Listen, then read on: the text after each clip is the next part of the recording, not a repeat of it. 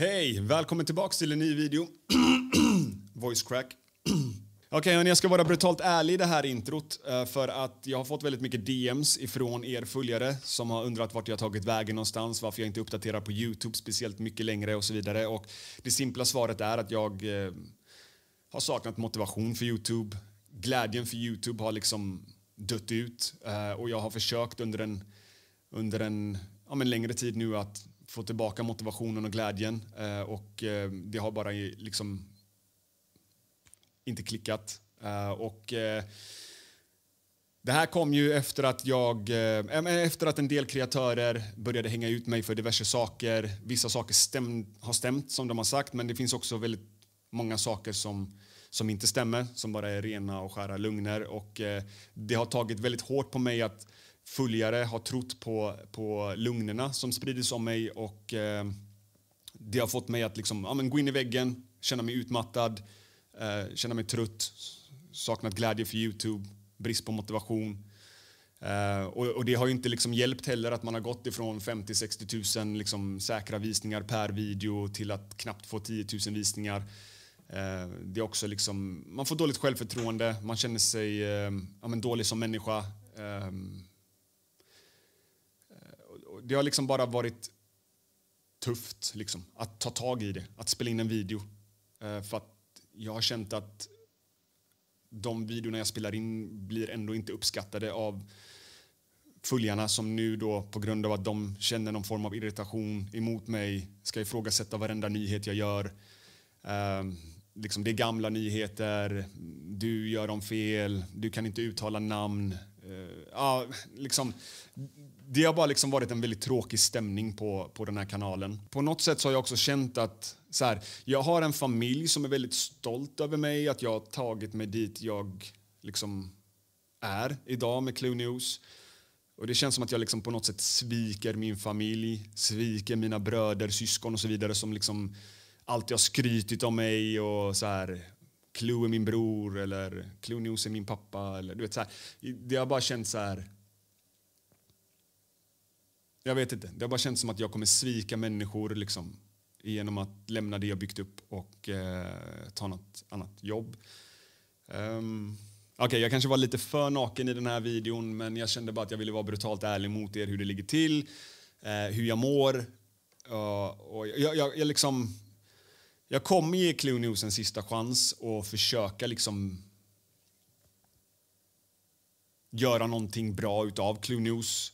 Um, för jag vill liksom inte lämna Youtube och bli ihågkommen som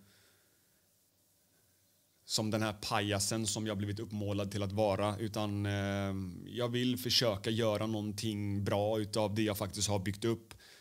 Eh, och ehm, eh, vi får se helt enkelt vad, vad, som, vad som kommer ske framöver. Jag har lite arbetsintervjuer på gång och eh, det, jag tror att en del av min press för liksom, Youtube och så vidare hade, hade släppt ifall jag fick ett vanligt jobb, kanske 70% i tjänst eller någonting så att jag sen då kan liksom ha Youtube som min hobby igen.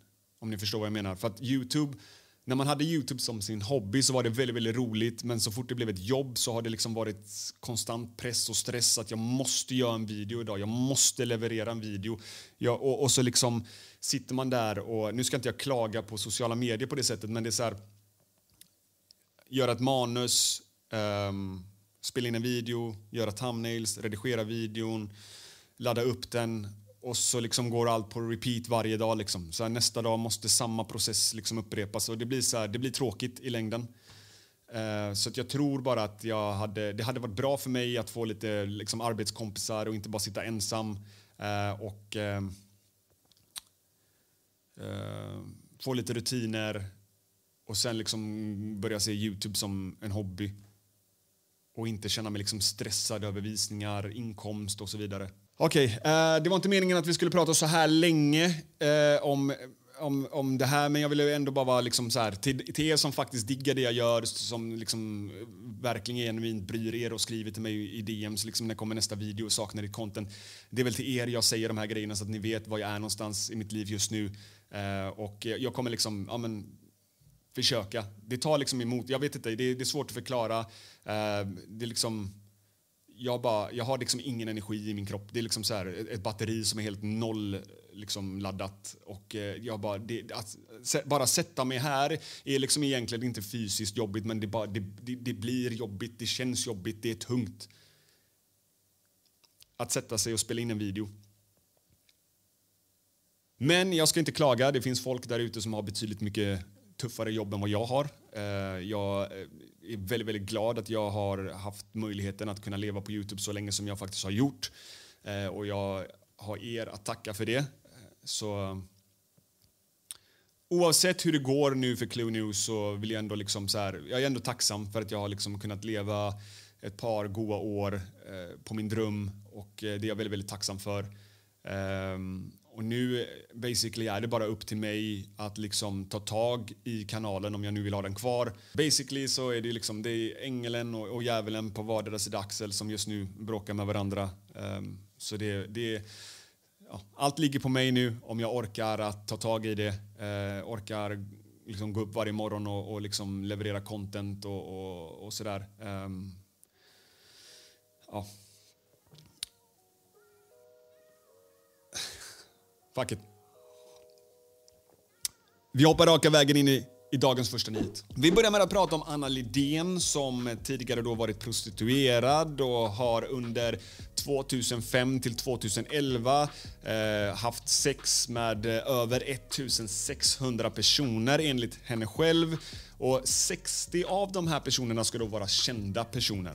Flera kändisar har hängts ut som sexköpare av en tidigare prostituerad på sociala medier. Nu har ju det här fått en massiv spridning på, på Instagram och TikTok bland annat eftersom att Anna nu då börjar hänga ut de här kända personerna som hon då eh, hävdar har köpt sex av henne.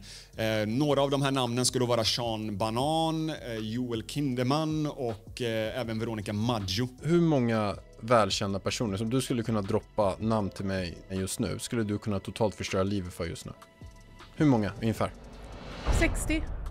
60? Ja. Jag tänkte 10. Nej, nej, nej, för fan.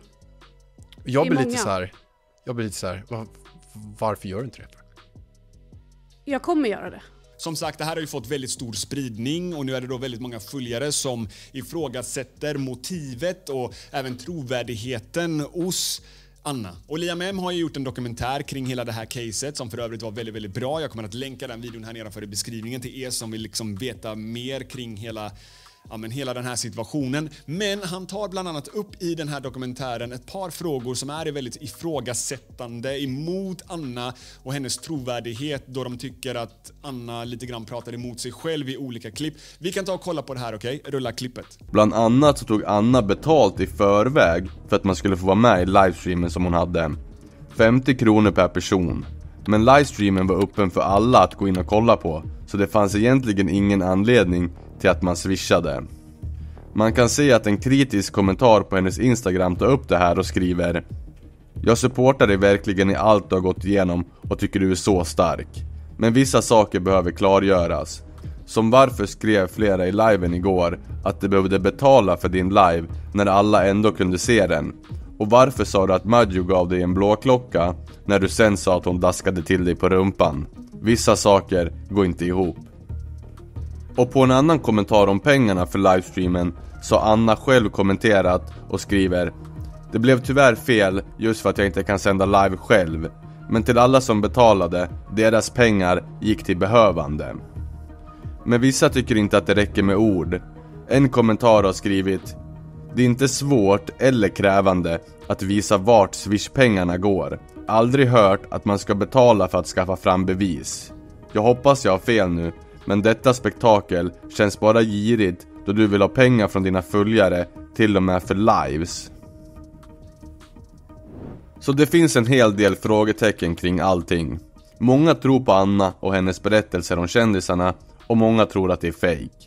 Men som Anna själv svarar på en kommentar som handlar om bevis mot de anklagade så säger hon Är påven katolik? Jag kan förstå att det som inte varit i min situation tycker att jag bara ska langa fram bevis. Men det är en juridisk process. Tro mig, hade det varit upp till mig hade jag visat allt här och nu. Man kämpar sig inte till ett värdigt liv i 20 år, skaffar man och barn, skaffar en karriär för att sen ljuga. Okej, det har varit väldigt många av er som har velat att jag ska rapportera om konflikten mellan Haval och eh, 26, eller JC Buzz som han ja, är väl mest känd för. Han har ju nu bytt namn då till eh, 26. I alla fall, jag vet inte så mycket mer än vad ni vet. Det enda jag har sett är det som liksom sker offentligt och ska vi då sammanfatta det som har skett offentligt så har ju då alltså JC Buzz kommit ut på en video på sin YouTube-kanal där han då läcker en konversation mellan honom och Haval. Och den här konflikten ska då ha startat efter att eh, 26 ska ha laddat upp en Instagram-story där han då hävdar att Haval ska ha ett pris på sitt huvud. Haval ska då ha svarat på den här Instagram-storyn där han då skriver någonting i stil med ta ner det här inlägget, du kommer att få ångra dig sen. Varpå då 26 vägrar att ta ner den här storyn och eh, skriver till Haval att han borde ta tillbaks det som han då skrev till 26. Vi kan ta och kolla på en liten liksom snutt ifrån 26 video. Uh, rulla klippet. Shuno skriver till mig, han säger Din apa, du tror det här är en lek? Frågetecken. Du kommer ångra den här storyn, kom ihåg vad jag har sagt. Och då har jag svarat, ta tillbaka det du sa, sista varning. Nu är det så här. Om du är svart och du följer Haval. Jag vill bara att ni ska förstå, det här är hur han ser oss, förstår ni vad jag menar? Yani, när du har beef med någon han har beef med mig i det här fallet, okej? Okay? För att jag la ut det där, okej? Okay? Shunon hade kunnat skriva din dräng, din hor, vad som helst. Men just apa, för han vet, han försöker nedvärdera mitt ras. Att jag är mörkhyad, förstår du? To all my black people out there. Och jag tycker det är komiskt för shunon har också vänner, han har också grabbar som är svart. Så ni som är vänner med den här drängen, bara vet att innerst inne, det är så han ser oss. Keep that in mind. Det är det jag tänker bara säga till er. Viktigt att notera här då är att det här är liksom 26 story kring den här konflikten. Vi har ännu inte sett liksom Haval komma ut och säga någonting liksom offentligt kring hur han ser liksom på den här konflikten och hur han anser att den här konflikten startade. Och några dagar efter det här så blir det alltså känt att en port i Lund eh, blivit sprängd. Det här fick vi alltså reda på via OG Dunder som skriver Big Drippas port sprängd i Lund kopplat till rappare. Och 26 kommer då sedan ut med en video på Instagram story där eh, han då laddar upp en video ifrån den här sprängda porten eh, och eh, ja, den såg ut så här. Rulla klippet. Kommer på pressar och mix. Två young sen nu, de står bäckna i skift. Jag försöker inte stressa och shit Speciellt nu när bojan är lit. Jag gillar vara bekväm. Och efter att OG Dunder hade rapporterat om att 26 hade fått sin port sprängd så besvarade 26 Dunder med att han inte bor där, inte hans föräldrar heller och att allt det här bara var clickbait för views. Porten som sprängdes bor inte där. Varken mina föräldrar eller någon jag känner. Det är endast clickbait för views och för att hypa drängen på internet. Ser du kopplingen? Amin 26 kom sedan ut på sin YouTube-kanal där han fortfarande då hävdar att det inte var hans port som blev sprängd. Vi kan ta och kolla på vad det var han sa. Rulla klippet. Så det jag ville komma fram till är, det var inte min port som blev sprängd. Det var inte någon jag känner port som blev sprängd. Och ni som önskar mig illa. Jag önskar er bara kärlek. uh... Ja men det är här någonstans den här konflikten är just nu eh, och det är det man har kunnat se liksom offentligt. Ännu en gång, eh, det här är 26 sida av den här konflikten. Vi har ännu inte fått liksom höra Haval komma ut och, och yttra sig offentligt kring den här eh, konflikten. Men det här är liksom det man har då kunnat hitta online. Det som liksom redan finns på nätet. Jag vet inte så mycket mer än så och vill väl egentligen inte veta så mycket mer än så. Och till er som undrar vem 26 a.k.a. JC Buzz är så vet jag inte så mycket mer än att han rapporterar om olika konflikter i eh, kriminella nätverk och i rapvärlden. Eh, konflikter som skulle kunna sätta honom själv i problem eftersom att det finns många av de här personerna han pratar om som kanske inte vill bli outade eftersom att de då inte lever ett Svensson Svensson-liv. Men eh, han har ju ställt upp på en eh, intervju på Dialogisk kanal. För övrigt, älskar Dialogisk kanal. Väldigt bra YouTube-kanal. Och eh, i den intervjun så kanske ni får mer svar på kring vem 26 är och varför han gör den typ- en av liksom, content som han gör på sociala medier. Även om det då kan liksom, få honom själv att bli utsatt för fara. Liksom. Så jag lägger en länk här nedanför i beskrivningen till Dialogisk YouTube-kanal. Vi går vidare och pratar om TikTok-profilen Medo Halimi som har dött i ett israeliskt flyganfall. Ja, men Medo Halimi var alltså 19 år gammal och han hade över 200 000 följare på TikTok och han filmade då sitt dagliga liv i ett flyktingläger i Gaza. Welcome guys to a new vlog of my tent life. I started the day as usual with a hot cup of tea and then headed to the city of Khan Yunis. There is something of planting every day until this genocide is over.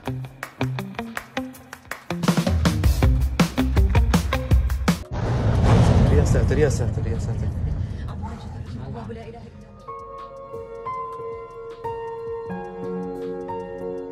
Ja, men TikTok-profilen fick alltså fly från sitt hem tillsammans med sin familj efter att de blivit attackerade av israeliska flygbomber i oktober förra året. Och enligt Sky News ska alltså Medo Halimi ha dött av splitter ifrån en israelisk flygattack. Vi går vidare och pratar om en streamer från Göteborg som fick ett eh, oväntat besök från eh, poliser eh, under tiden som han satt och streamade Wall of Warcraft. Ja, men polisen ville då att han skulle öppna sin dörr. De krossade sedan en ruta som då fångades på film eftersom att den här killen då var live samtidigt som han då streamade spelet Wall of Warcraft.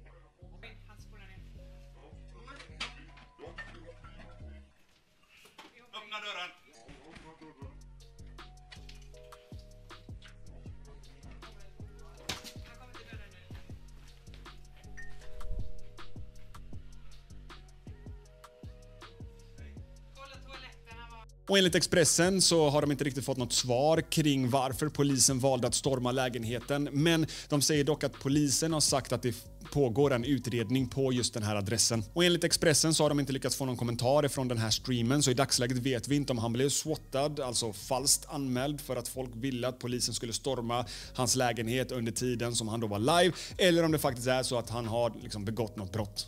Ja hörni, mycket mer än så har jag inte att bjuda på idag. Jag hoppas ändå ni har gillat videon. Om ni gjort det så får ni väldigt gärna tumma upp videoklippet så ses vi i nästa video. Peace.